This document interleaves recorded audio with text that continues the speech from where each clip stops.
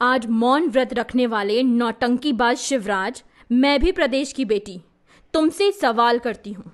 तुम्हारे शासन के पंद्रह सालों में प्रदेश में महिला अत्याचार में नंबर वन कैसे हुआ? आज भी बेटियाँ घर से निकलने में घबराती हैं।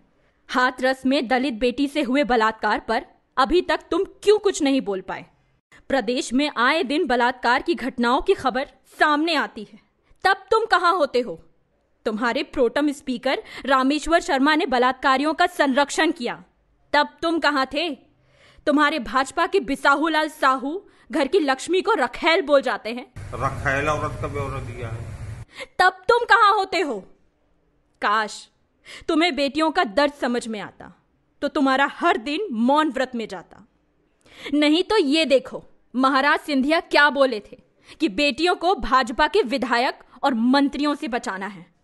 बेटी बचाओ नहीं, लेकिन भाजपा के मंत्री और विधायकों से अपनी बेटियों को बचाओ करना बनाना शर्म करो शिवराज, भगवान के लिए शर्म करो और ये नौटंकी बंद करो।